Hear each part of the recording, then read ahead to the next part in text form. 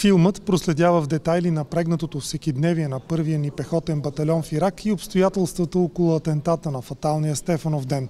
Прожекциите са част от информационната кампания «Помним своите герои». Филма може да се разглежда като документален разказ за събитията, обстоятелствата около атентата, но може да бъде разгледан и като апология на проявената воинска доблест по време на това събитие.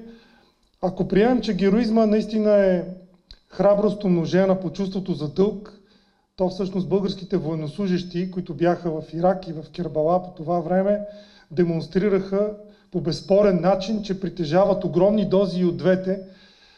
И филми като този всъщност показват, че не са забравени тези, които оцеляха и които продължават достойно да служат в българската армия и онези, които дадоха живота си там в Ирак и които смело можем да наречем герои.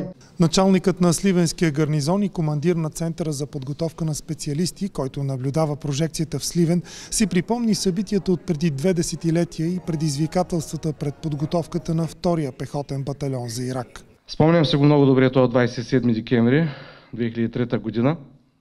Спомням си и следващия етап, тъй като втория пехотен батальон, който трябваше отиде да смени този в Кербала, беше цяло от състава на пета механизирана бригада и то на може би 80% беше от батальона механизиране, на което аз бях началник на щаба. И шапка свалям на всички колеги, които проявиха смелост и решителност да се включат във втория пехотен батальон, да отидат да сменят първия, тъй като шока, който всички преживяхме тогава, с загубата на петима военнослужащи, с толкова много ранени. Трудно беше да се мотивират хората, за да могат и семействата им и лично те да поемат този риск и този ангажимент да отидат на това място, където преди броени дни са загинали наши военнослужащи. Вечна слава на героите. В тази връзка Колеги, моля да станем и се до минут мълчание да почетем паметта на загиналите.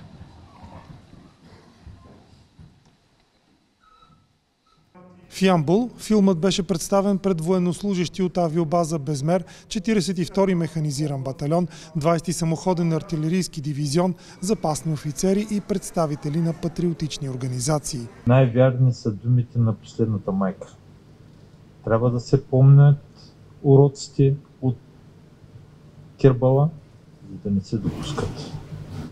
За да знае всеки един къде отива, за какво отива и каква подготовка има. Филмът за атентата, както и цялата документална поредица разкази от Кербала, може да бъде видяна в секцията за филми на сайта Army BG и в профила в YouTube на военния телевизионен канал.